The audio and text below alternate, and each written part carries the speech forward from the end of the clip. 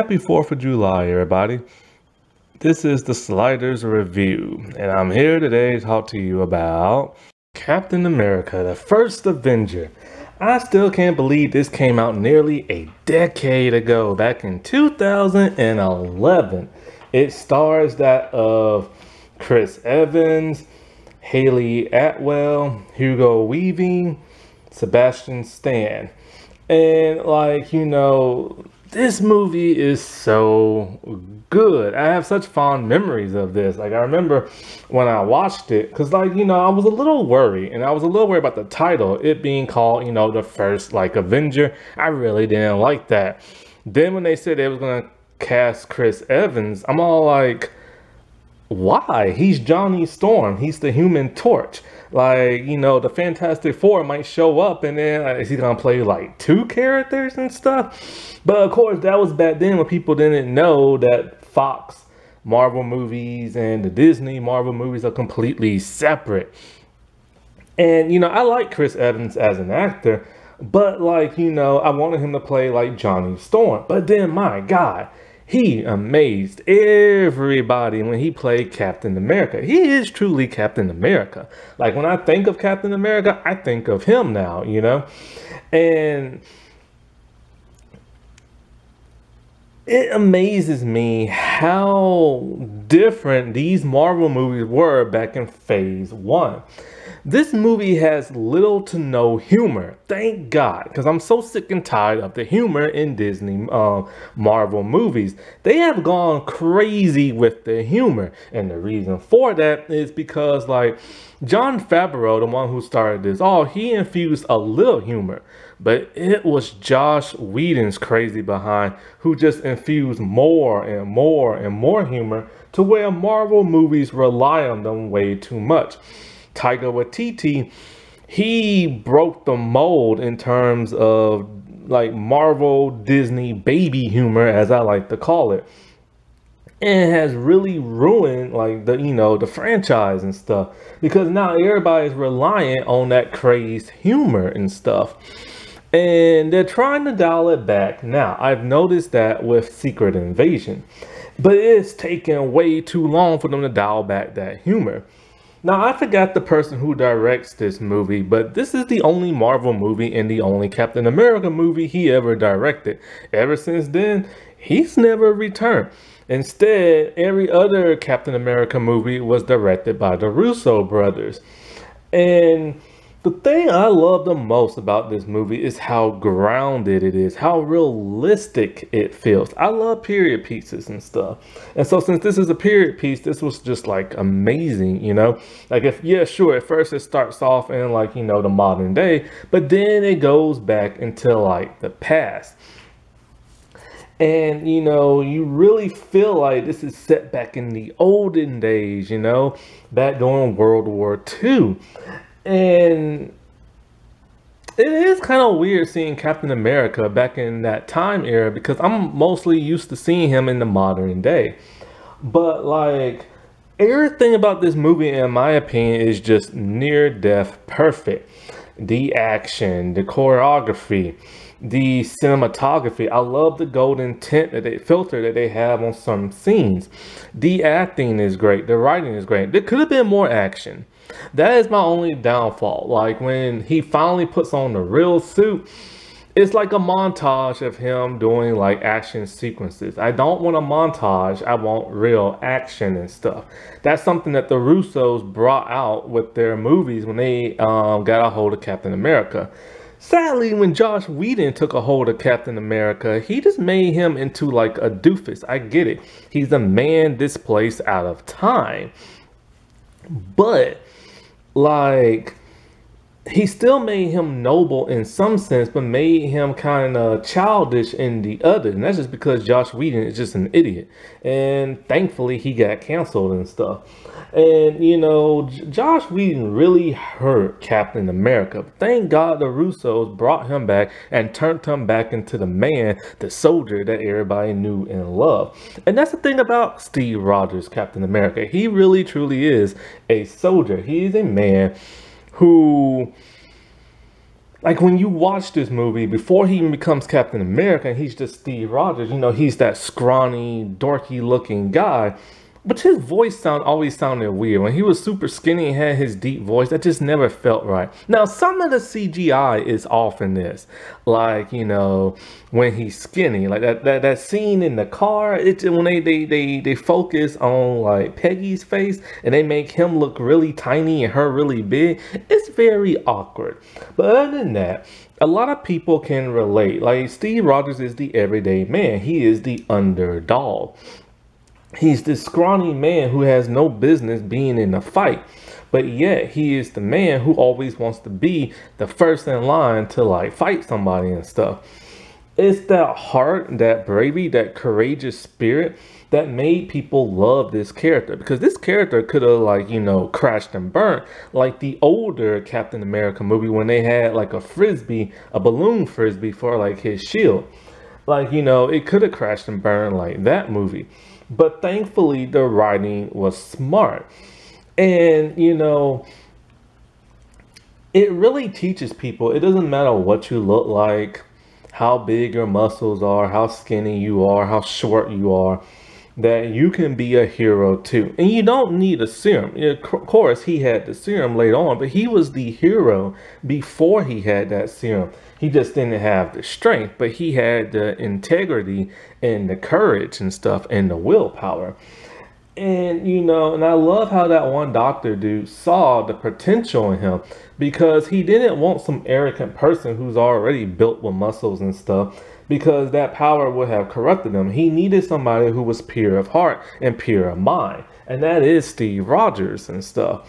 And so, of course, when he became Captain America, that dude was ripped. like he, like I never seen Chris Evans that buff before.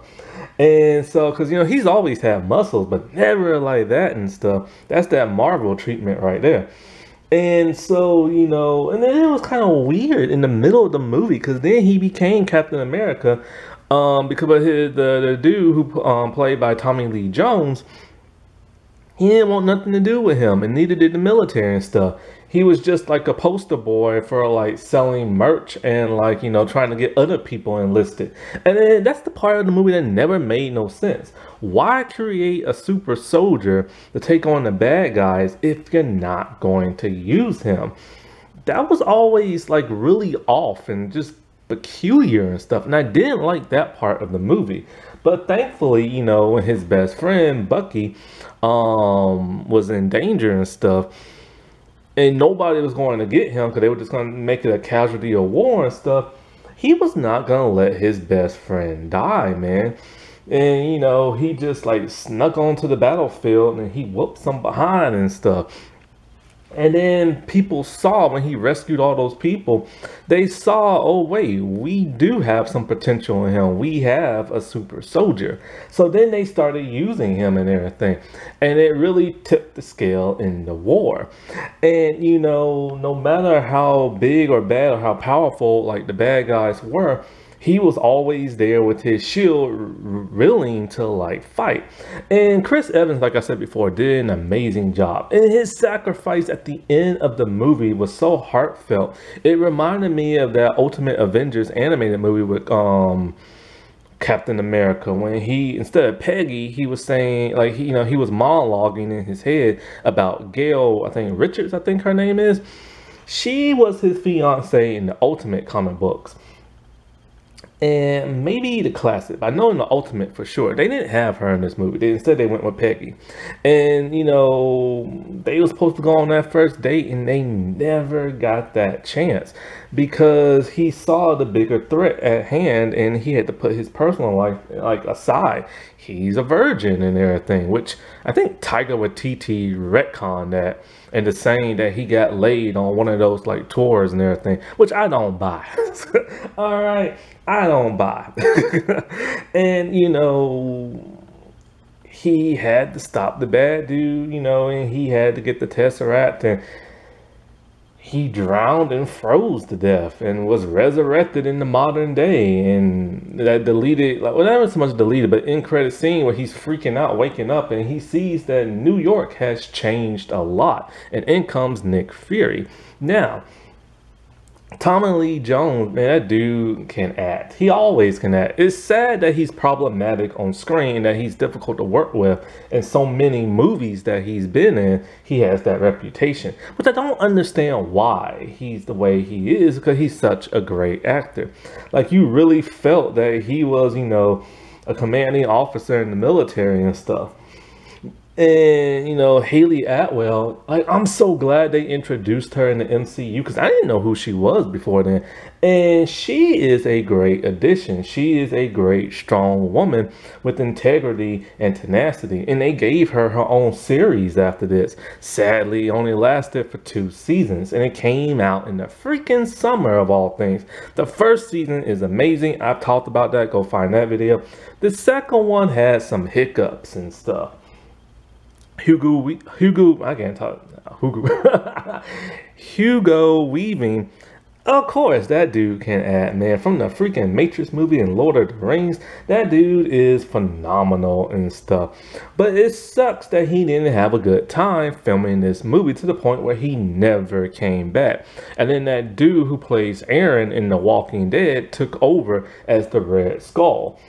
And you know, I was really curious to know how they was gonna do the Red Skull. I think they took inspiration from the Ultimate comic books. Around this time, they was taking well, the, the first phase of the MCU was all about the Ultimate comic books and stuff. Even Steve's suit is based off of that, and his suit looks amazing. And of course, Josh Whedon messed it up in the Avengers movie and stuff. Thank God for the Russo brothers, man. I'm telling you. So anyway like um so yeah, that sucks. He never came back as Red Skull. I wish they could have had more Red Skull. I wish they could have had him been a little bit more menacing, but he was good, like nevertheless. I kind of wish they would have had the Chitauri in this, similar to the Ultimate Comics, because the Chitauri help out the um, bad guys, and then it leads to the Avengers movie. That would have been the perfect thing, but they didn't want to go that far. They wanted to keep it simple and contained, and I understand that, you know. And, you know, there isn't much more you can really say that's so great about this movie. And then, of course, we all know the aftermath of what all happened. He's a man displaced at a time. Everybody he's known and loved is either dead or dying. Um, Peggy, his one true love, is so old she doesn't even really remember him, and then she dies in later movies.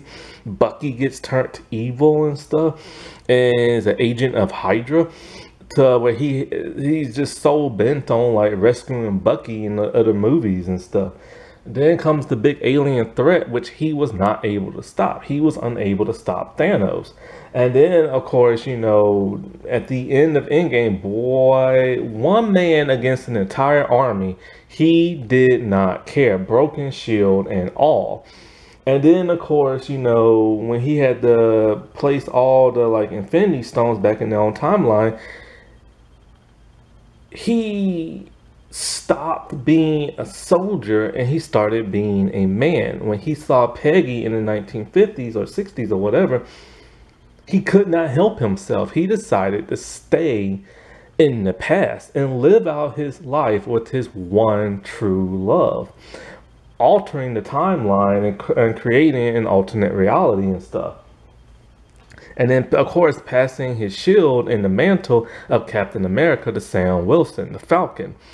But now there is that disturbing nature of knowing he kissed his, um, what is it, great niece or whatever in the second Captain America. No, no, no, no, no, no, no, um, the third Captain America movie. Because he stayed with Peggy the whole time and nobody knew that in the past. And of course, they had kids together and Ugh, he kissed his relative, man. But he didn't know that. but the Russos knew that. So why in the world would they incorporate that? Alrighty. Well, I'll talk to y'all later. Bye.